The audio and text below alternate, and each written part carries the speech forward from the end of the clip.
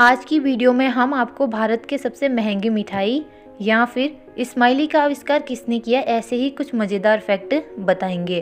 Fact number five, जापानी लोग signature का इस्तेमाल नहीं करते हैं। इसके बजाय हर जापानी के पास अपना स्टैम्प होता है, जिसको उनकी भाषा में हैंको कहते हैं। और इसी हैंको का इस्तेमाल वहाँ के लोग बैंकों में, प्रॉपर्टी खरीदने में, कार खरीदने इत्यादि में करते हैं। फैक्ट नंबर फोर, इस्माइली का आविष्कार 1963 में हॉर्वे रोज बोल नाम के एक व्यक्ति ने किया।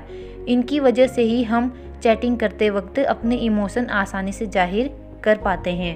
फैक्ट नंबर थ्री, लखनऊ में छप्पन भोग नाम की एक मिठाई की दुकान पर भारत की सबसे महँगी मिठाई मिलती है, जिसका नाम एग्जोटिका है। और इसकी कीमत फ़िलहाल पचास हज़ार रुपये किलो है। इस मिठाई में इस्तेमाल होने वाले चीज़ें बाहर देशों से मंगवाई जाती है।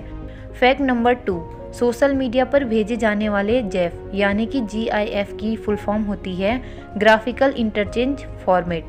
Fact number one, Leonardo da Vinci द्वारा बनाई गई प्रसिद्ध पेंटिंग मोनालिसा को अगर आप गौर से देखेंगे तो पाएँगे कि मोनालिसा के आईब्रो नहीं हैं।